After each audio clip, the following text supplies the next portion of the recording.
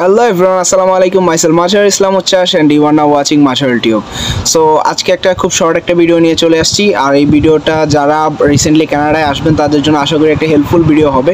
Because আজকের ভিডিওতে আমি বলব যে আপনাদের যেসব ডকুমেন্ট লাগবে, আপনাদের ইমিগ্রেশনের ক্ষেত্রে কানাডা আসতেছেন, যেহেতু নতুন ফার্স্ট টাইম আমি যখন আসতাম আমি জানতাম না যে আমার কী কী ডকুমেন্ট সাথে নিয়ে ট্রাভেল করতে হবে। আর যেহেতু ইমিগ্রেশনের রুলস রেগুলার চেঞ্জ হচ্ছে, এক সময় যারা আসতো, তাদের জন্য হোটেল কোয়ারেন্টাইন করা লাগতো, তিন দিনের, চোদ্দ দিনের, ইত্যাদি এই রুলসগুলো চেঞ্জ হলো, তারপরে হচ্ছে ভ্যাকসিনেশনের নতুন রুলস আসলো। আমি ভাবলাম যে রাইট নাও যে রুলসটা চলতেছে সেটা আপনাদেরকে জানিয়ে দিই। আর ইমিগ্রেশনের ক্ষেত্রে বর্তমানে যে রিসেন্টলি যে রুলসটা সেটা হচ্ছে যে আপনি কানাডাতে ল্যান্ড করবেন। ল্যান্ড করার পর আপনি যদি ফুললি ভ্যাকসিনেটেড হন, তাহলে হচ্ছে আপনার কোনো প্রকার এখানে কোয়ারেন্টাইন করতে হবে না। আপনি ডিরেক্টলি এখানে এসে আপনার যেখানে আপনি বাসা ঠিক করেছেন, সেখানেই চলে আসতে পারবেন। আর যদি আপনি ফুললি ভ্যাকসিনেটেড না হন বা পার্শিয়ালি ভ্যাকসিনেটেড না হন, তাহলে যখন আপনি এখানে ল্যান্ড করবেন দেন হচ্ছে আপনাকে হয়তো সেকেন্ড ডোজটা নিতে হবে, অথবা একটা ডেট দিয়ে দিবে ওই ডেটে আপনার সেকেন্ড ডোজটা নিতে হবে। আর এখানে হচ্ছে কানাডার ইমিগ্রেশনের ক্ষেত্রে যেসব অ্যাপ্রুভড ভ্যাকসিন আছে, এখানে কি আই থিঙ্ক চারটা অ্যাপ্রুভড ভ্যাকসিন আছে। আপনারা একটু আইআরসিসির ওয়েবসাইটে চেক করে নেবেন যে বর্তমানে ওরা কোন চারটা ভ্যাকসিনের কথা বলতেছে,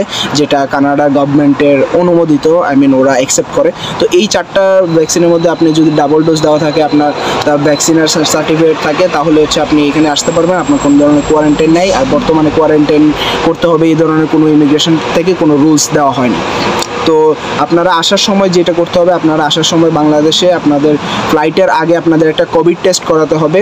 কোভিড টেস্টের নেগেটিভ সার্টিফিকেট নিয়ে দেন হচ্ছে আপনারা ফ্লাই করতে পারবেন। যেহেতু সেপ্টেম্বর ইনটেকে অনেক স্টুডেন্ট আসে, তাই আমি ভাবলাম যে এই ভিডিওটা যত তাড়াতাড়ি সম্ভব এখনই করে আপলোড দিয়ে দিই অগাস্ট মান্থে বিকজ সেপ্টেম্বর ইনটেকে এর জন্য স্টুডেন্টরা কিন্তু অগাস্ট মান্থেই চলে আসে, অথবা সেপ্টেম্বরের ফার্স্ট উইকের মধ্যেই চলে আসে বিকজ ক্লাস সেপ্টেম্বরের ছয় তারিখ, সাত তারিখ থেকে শুরু হয়ে যায়। তো সবাই ফার্স্ট উইকের আশেপাশেই চলে আসে। তাই আমি ভাবলাম যে যেসব ডকুমেন্ট লাগবে আপনাদেরকে জানিয়ে দিই, আপনারা সেগুলো সব কিছু গুছিয়ে সুন্দর করে চলে আসেন। আমি যেসব ডকুমেন্টের নামগুলো বলব, আপনারা প্লিজ একটু নোট করে নেবেন। আমি একটা নোট করে রাখছি আমার ফোনে যে ট্রাভেলের ক্ষেত্রে আপনাদের কী কী ডকুমেন্ট লাগবে, তো আমি তো সবার আগে যে জিনিসটা ট্রাভেলের ক্ষেত্রে খুবই ইম্পর্ট্যান্ট যেই জিনিসটা আপনাদের লাগবে, এটা অনেক সময় কিন্তু আমরা অনেকেই ভুলে যাই আনতে। এটা কিন্তু খুবই একটা ইম্পর্ট্যান্ট একটা জিনিস। এটা ছাড়া আপনি কানাডা কেন? আপনি পৃথিবীর যে কোনো জায়গায় চলে যান না কেন, আপনাকে ওরা এন্ট্রি দিবে না ইমিগ্রেশনের ক্ষেত্রে। ইভেন ইভেন এমনও হতে পারে যে আপনাকে আপনার যে কান্ট্রি থেকে আপনি ফ্লাই করেন না কেন, সেই কান্ট্রি থেকে আপনাকে বোর্ডেই করতে দেওয়া হবে না। আপনি যদি এই ডকুমেন্টটা আনতে ভুলে যান, এবং সেই ডকুমেন্টটা হচ্ছে আপনার পাসপোর্ট তো জাস্ট কিডিং গাইস আপনার পাসপোর্ট তো আর কেউ ভুলে না? তো সবাই আশা করি কেউ ভুলবেন না। পাসপোর্ট অবশ্যই সাথে নিয়ে আসবেন। আর সাথে হচ্ছে আপনার ভ্যালিড ভিসা কানাডার ভিসা এবং পাসপোর্ট আপনারা অবশ্যই সাথে নিয়ে আসবেন, তাহলে আপনারা কানাডায় ঢুকতে পারবেন। কানাডায় ঢোকার ক্ষেত্রে সবচেয়ে, সবার আগে হচ্ছে ইমিগ্রেশনকে জানাতে হয় যে আপনি কানাডাতে আসছেন, কোন ফ্লাইট দিয়ে আসছেন, কত তারিখে আপনি ল্যান্ড করছেন, কোন ইনস্টিটিউশনে আসছেন, আপনি এখানে এসে কোথায় থাকবেন, কোথায় যাবেন এয়ারপোর্ট থেকে আপনি কীভাবে আপনার সেই ডেস্টিনেশনে যাবেন, আপনাকে কি আপনার কলেজ থেকে গাড়ি পাঠাবে নেওয়ার জন্য, নাকি আপনি পার্সোনাল কোনো সাপোজ উবার লিফট ইত্যাদি এগুলো দিয়ে আপনি হচ্ছে বাসায় যাবেন ট্যাক্সি দিয়ে যাবেন। তো এগুলো হচ্ছে জানাতে হয় ইমিগ্রেশনকে তো সেটা জানানোর জন্য একটা যে অ্যাপ আছে, সেই অ্যাপটার নাম হচ্ছে অ্যারাইভ ক্যান অ্যাপ সো সেই অ্যাপটা আপনারা ডাউনলোড করে নেবেন। সেই অ্যারাইভ ক্যান অ্যাপে আপনার আপনার ট্রাভেলের সকল ডকুমেন্ট ডিটেলস কিন্তু আপনার আপলোড দিতে হবে। আপনার অ্যারাইভ ক্যান অ্যাপটা আপনাকে আপডেট করতে হবে I think forty eight hours অথবা সেভেন্টি টু ফর্টি এইট নাকি সেভেন্টি টু আমি জানি না। আপনি হচ্ছে মনে করেন আপনার ফ্লাইট যদি দুই তারিখে হয় তাহলে আপনি এক তারিখে যদি ফর্মটা ফিল আপ করে ফেলেন অ্যারাইভ ক্যানের সেই ফর্মটা ফর্মটা আপনি অ্যাপে ঢুকে ওদের আপনার ফ্লাইটের ডিটেলস ইত্যাদি যা যা চাইবে সব কিছু সব কিছু আপনি ফিল আপ করে আপলোড করে দিলে ওরা আপনাকে একটা অ্যারাইভকেন নাম্বার দিবে। এই নাম্বারটা হচ্ছে কানাডাতে আপনি যখন লগ ইন করবেন অ্যারাইভকেনের নাম্বার এই নাম্বারটা ইমিগ্রেশন অফিসার দেখতে চাইবে। বিকজ যদি কোনো ডকুমেন্টস লাগে ইমিগ্রেশন অফিসার জাস্ট ওই নাম্বারটা দিয়ে সার্চ করলে আপনার সকল ডকুমেন্টস এবং সকল ফ্লাইট ডিটেলস চলে আসবে। আর একটা জিনিস সেটা খেয়াল রাখবেন অ্যারাইভ কেনার ক্ষেত্রে একটা কোশ্চেন সব স্টুডেন্টরাই করে যে একটা কোশ্চেন থাকে যে আপনি কোন কান্ট্রি থেকে আসতেছেন? সো এখানে হচ্ছে যে যে একটা ক্ষেত্রে থাকে আপনি একদম বাংলাদেশ থেকে আসতেছেন, সেটা আরেকটা জায়গায় আস করে যে আপনি লাস্ট প্রিভিয়াস কোন কান্ট্রিতে ভিজিট করছেন। এবং সেটা হবে হচ্ছে আপনার যে লাস্টে আপনার যেখানে আপনার ট্রানজিট ছিল, সেই কান্ট্রির কিন্তু অ্যাড্রেসটা হবে যে আপনি আমার ক্ষেত্রে আমি এসেছিলাম টার্কিশে তো টার্কিশের ক্ষেত্রে আমার হচ্ছে তুর্কি এয়ারপোর্টে আমার ট্রানজিট ছিল, তো আমি কিন্তু সেখানে তুর্কি লিখেছি যে আমি তুর্কি থেকে আসতেছি।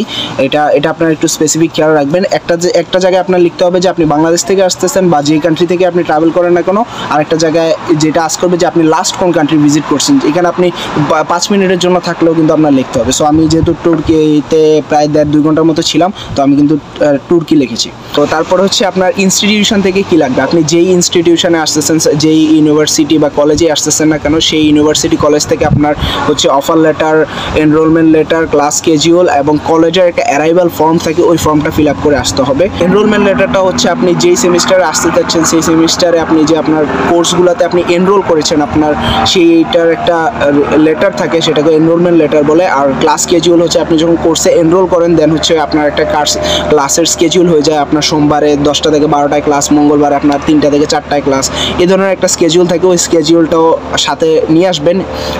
কলেজ থেকে একটা অ্যারাইভাল ফর্ম দেয় যে আপনি আসতেছেন এটা ইনস্টিটিউশনকে জানানোর জন্য। তো এই অ্যারাইভাল ফর্মটা ফিল আপ করে আপনি চাইলে এটার কপিটা নিয়ে আসতে পারেন সাথে। আপনার অ্যাডমিশন ডিপার্টমেন্ট অথবা অ্যাডভাইজারকে আপনি মেল করবেন যে আমার ট্রাভেল সাপোর্ট লেটার লাগবে।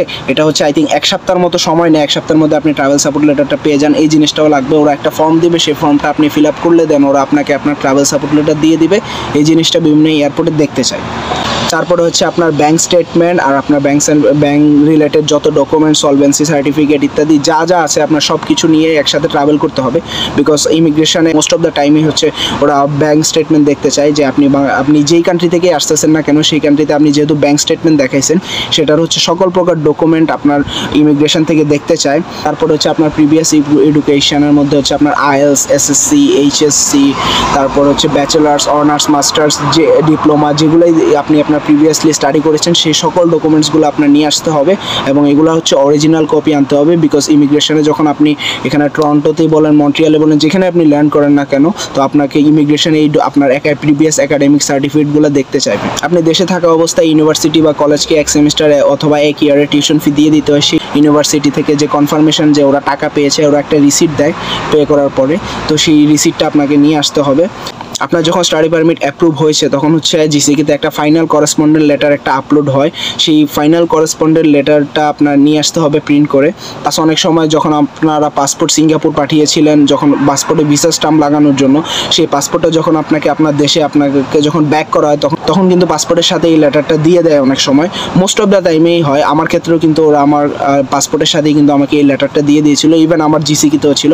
আর রিসেন্টলি আমি যে জিনিসটা দেখতেছি, অনেকের পাসপোর্টে ভিসা স্টাম্প লেগে গেছে এবং পাসপোর্টের সাথে কিন্তু এই লেটারটা আসেনি। যদি আপনাদের জিসিকিতে এই জিনিসটা আপলোড না হয় don't worry about it because আপনাদের পাসপোর্টে আপনাদের কানাডায় ভিসা স্টাম্প লেগে গেছে দ্যাটস ইট তো তখন আপনারা যে জিনিসটা করবেন, আপ- আপনি যখন আপনার জিসিকিতে লগ ইন করবেন, তখন জিসিকির পোর্টালের স্ক্রিনশটটা নেবেন, আপনার অ্যাপ্লিকেশন প্রসেসিং টাইমের স্ক্রিনশটটা আপনি প্রিন্ট করবেন প্লাস হচ্ছে প্রথম থেকে আপনার যেসব ডকুমেন্টগুলো আইআরসিসি আপনাকে আপলোড করেছে সাপোজ আপনি যখন আপনার ফাইল আপলোড করেছেন, তখন হচ্ছে আপনার সাবমিশন কনফার্মেশনের একটা ডকুমেন্ট ওখানে আপলোড হয়েছে, তারপরে হচ্ছে আপনার বায়োমেট্রিকের রিকোয়েস্ট এসছে, তারপরে আপনার মেডিকেল রিকোয়েস্ট আসতে আসতে পারে। সেই মেডিকেল রিকোয়েস্টের ফর্মটা যেটা ওরা আপলোড দিছে জিসি কি সেটা আপনি একসাথে প্রিন্ট করবেন। তারপরে হচ্ছে আপনার পাসপোর্ট রিকোয়েস্ট আসছে। আপনি পাসপোর্ট সিঙ্গাপুর সেন্ড করার পরে সিঙ্গাপুর থেকে যে ব্যাক হয়েছে আপনার ফাইনাল করেসপন্ডেন্ট লেটার সেই জিনিসটা সবগুলো একসাথে সিরিয়াল ওয়াইজ করে আপনি সেগুলো প্রিন্ট করে পিন আপ করে নিয়ে আসবেন।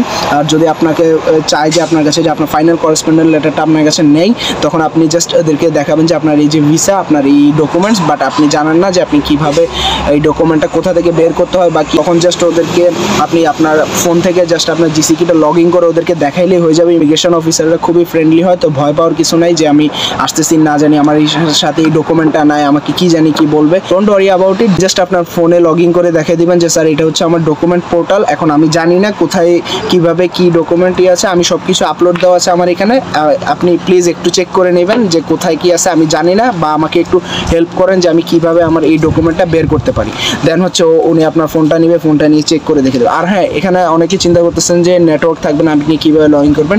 ডোন্ট ওয়ারি অ্যাবাউট ইট সব এয়ারপোর্টে ওয়াইফাই আছে, আপনি আপনার জিসিকিতেও লগ ইন করতে পারবেন, আপনি আপনার ফ্যামিলির সাথেও কথা বলতে পারবেন দ্যাটস ইট তারপরে হচ্ছে আপনার মেডিকেল টেস্টের রিপোর্ট নিয়ে আসতে হবে যে রিপোর্টটা একটা ইউসিআই নাম্বার দিয়ে যখন মেডিকেল করান, তখন একটা রিপোর্ট দেয় সেই রিপোর্টটা নিয়ে আসতে হবে। আপনারা আপনাদের কলেজের যে স্টুডেন্ট প্রোফাইল সেই প্রোফাইলটার একটা স্ক্রিনশট আপনারা প্রিন্ট করে নিয়ে আসবেন, যে আপনি ওই কলেজের প্রোফাইলে যখন আপনি লগ ইন করেন, তখন আপনার নাম সহ কিন্তু একটা পোর্টাল আসে।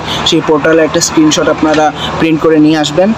আপনি যেই কান্ট্রি থেকে পুলিশ ক্লিয়ারেন্স করিয়েছেন না কেন, আপনাকে সেই পুলিশ ক্লিয়ারেন্সের ডকুমেন্টটা নিয়ে আসতে হবে। আপনারা যদি সম্ভব হয়, আপনারা আপনাদের কমপ্লিট ভিসা ফাইলটা আপনারা যদি নিয়ে আসতে পারেন, সেটা খুবই ভালো হয়। আমার টোটাল দুইটা ফাইল ছিল। দুইটা ফাইলের মধ্যে আমার কমপ্লিট ভিসা ফাইল যেটা আমি নিয়ে আসছিলাম, একটা ফাইলে আমি সব কিছু একসাথে রেখেছিলাম যা যা কপি আছে ইত্যাদি সব কিছু আরেকটা ফাইলে আমি রেখেছিলাম যে আমার যেসব ডকুমেন্টসগুলো আমার ইমিগ্রেশনের ক্ষেত্রে লাগবে, আমি সেই ডকুমেন্টসগুলো আলাদা করে একটা ফাইলে রাখছিলাম দেন আমি সেটা নিয়ে আসছিলাম। লাস্ট নট দ্য লিস্ট আপনাদের যেসব ডকুমেন্টসগুলো নিয়ে আসবেন, আপনারা সবগুলোই কিন্তু আপনাদের অরিজিনাল কপি নিয়ে আসবেন। কোনো ধরনের ফটোকপি আনলে এখানে হচ্ছে অ্যাপ্রুভ হবে না বিকজ আপনি যদি আপনার একাডেমিক ডকুমেন্টসগুলো ইমিগ্রেশন অফিসার দেখতে চায়, আপনি যদি সেটার ফটোকপি দেখান he will not accept it maybe he can accept হয়তো আপনার টাইম লাগবে বা ঝামেলা হতে পারে। তো আমি বলব যে এইসব ঝামেলা না যাওয়ার জন্যই বিকজ এখানে ওরা অরিজিনাল ডকুমেন্টসই দেখতে চায়। অনেকে হয়তো নোটারাইজ কপি নিয়ে আসবে বাট আমি বলব যে আপনারা অরিজিনাল কপি নিয়ে আসবেন অরিজিনাল কপি হাতে দিবেন। উনি জাস্ট খালি দেখবেন এবং সাথে সাথে আপনাকে দিয়ে দিবে। এখানে এমন না যে ওই উনি এটা জমা রেখে দেবে ওনার নিজের কাছে। অনেকে হয়তো মনে করতে পারেন যে আপনাদের দলিল নিয়ে আসতে হবে সাথে বিকজ আপনি যেহেতু ভিসা ফাইলের সাথে আপলোড করছেন জাস্ট আপনি যে দলিল টলিলতে সাবমিট করেছেন, ওই জিনিসগুলো আনতে হবে না বাট আপনি এগুলোর হচ্ছে সফট কপিটা আপনার ফোনে রেখে দিবেন। আরেকটা কাজ আপনারা করতে পারেন যে সম্পূর্ণ আপনাদের যে ভিসার যে ফাইলটা আপনি আপলোড করেছেন, সেই সম্পূর্ণ ফাইলটার একটা সফট কপি আপনার ফোনে আপনি পিডিএফ করে নিয়ে আসতে পারেন। ইমিগ্রেশন শেষ করে যখন আপনি স্টাডি পারমিট হাতে নিয়ে বের হবেন, তারপরে হচ্ছে এখানে এয়ারপোর্টে বের হওয়ার পরে এখান থেকে বাসায় যাওয়া পর্যন্ত আপনার কীভাবে যাবেন? আপনি যখন এয়ারপোর্ট থেকে বের হবেন, তখন আপনি টার্মিনাল থ্রি জোন ডিতে যদি আপনি বের হন, তাহলে হচ্ছে আপনি বাইরে অনেক ট্যাক্সি পাবেন দাঁড়ানো আছে। আপনি জাস্ট ওদেরকে আপনার যে বাসায় উঠতেছেন, আপনি সেই বাসায় অ্যাড্রেসটা দিলে ওরা আপনাকে আপনার বাসায় পৌঁছে দিবে। ঠিক আপনার বাসার সামনে নামিয়ে দেবে। তখন এক্ষেত্রে আপনাদের পেমেন্টের ক্ষেত্রে কি হবে? তো পেমেন্টের ক্ষেত্রে আপনারা যেটা করতে পারেন, আপনাদের যদি কার্ড থাকে ইন্টারন্যাশনাল ডুয়েল কারেন্সি অ্যাড করা সো আপনি কার্ড দিয়ে পে করতে পারেন, অথবা আপনি ওদেরকে ক্যাশ দিতে পারেন। থেকে, দেশ থেকে আসার সময় অল্প কিছু Canadian currency at least two hundred dollar সাথে নিয়ে আসবেন এটা বেটার হবে। আরেকটা জিনিস আপনি চাইলে কিন্তু ফ্রিতেও আপনি আপনার বাসায় পৌঁছে যেতে পারেন। সো সেটা কীভাবে হবে? সেটার জন্য হচ্ছে আপনাকে আপনার কলেজের সাথে ইউনিভার্সিটির সাথে যোগাযোগ করতে হবে। বিকজ আপনি যখন আপনার টিউশন ফি সেন্ড করেছেন, সেই টিউশন ফির সাথে কিন্তু আপনার এয়ারপোর্ট পিক আপ ড্রপের অনেক সময় পেটা নিয়ে নেয় ইউনিভার্সিটি কলেজ থেকে। কোভিডের সময় কিন্তু ইউনিভার্সিটি কলেজ এই জিনিসটা প্রোভাইড করতো যে ওরা এয়ারপোর্ট থেকে আপনাকে পিক করবে পিক করে হচ্ছে আপনাকে আপনার যে লোকেশনে যাবেন, সেই লোকেশনে ওরা ড্রপ করবে। ওরা কি করতে? একটা বোর্ড নিয়ে দাঁড়িয়ে থাকতো এয়ারপোর্টের গেটের বাইরে আপনার নাম লেখা, আপনি জাস্ট খালি যাবেন, আপনার নাম বলবেন, আপনাকে আপনার বাসায় পৌঁছে দেবে। তো বর্তমান ক্ষেত্রে এই জিনিসটা অনেক ইউনিভার্সিটি কলেজ প্রোভাইড করছে না। তারপরে আপনি চেষ্টা করবেন, আপনি আপনার ইউনিভার্সিটির সাথে যোগাযোগ করতে। ওদেরকে একটা মেল দিবেন যে, আমি এয়ারপোর্টে আসতেছি, আমার this is my flight details আমি এত তারিখে ল্যান্ড করব, আমি এখান থেকে কীভাবে আমি আমার বাসায় যেতে পারি? ইউনিভার্সিটি বা কলেজ কি আমাকে এই ধরনের কোনো সাপোর্ট দিবে? বিকজ আমি শুনেছি যে ইউনিভার্সিটি থেকে নাকি গাড়ি পাঠাবে দেন ওরা আমাকে পিক আপ করে ড্রপ করবে। তো এই জিনিসগুলো আপনি ইউনিভার্সিটিকে একটা মেল করবেন দেন ওরা রিপ্লাই দিবে। অনেক অনেক কলেজে এই সার্ভিসটা প্রোভাইড করতেছে না রাইট নাও বিকজ সেটা কোভিডের সময় করতো বাট কিছু কিছু স্পেসিফিক ইউনিভার্সিটি কলেজেসগুলোতে কিন্তু এই সার্ভিসটা এখনও আছে। তো আপনারা, আপনাদের ইউনিভার্সিটির সাথে যোগাযোগ করে এই সার্ভিসটা সম্পর্কে জেনে নেবেন। যাদের রিসেন্টলি ভিসা হয়ে গেছে অথবা ফ্লাই করবেন, তারা আপনার যদি আমার সাথে যোগাযোগ করতে চান, তারা আমাকে আমার পার্সোনাল ফেসবুকে মেসেজ করবেন যে, আমার ভিসা হয়ে গেছে, আমি এই কলেজে আসতেছি, আমি এত তারিখে আসতেছি দ্যাটস ইট আমি আপনাকে অ্যাড করে নেব। আপনারা যারা আমার সাথে যোগাযোগ করতে চান, তারা আমাকে আমার ফেসবুক পেজ ফেসবুক গ্রুপ তারপরে আমার ইনস্টাগ্রামে আপনারা আমাকে নক করতে পারেন। ভিডিও ডেসক্রিপশন সবগুলো লিঙ্ক দেওয়া আছে, তো আপনারা নক করতে পারেন। আমি যত তাড়াতাড়ি সম্ভব রিপ্লাই করার চেষ্টা করি। That's all for today I will see you guys in my new video till then bye everyone আল্লাহ হাফেজ ও হ্যাঁ don't forget to subscribe my YouTube channel bye আল্লাহ হাফেজ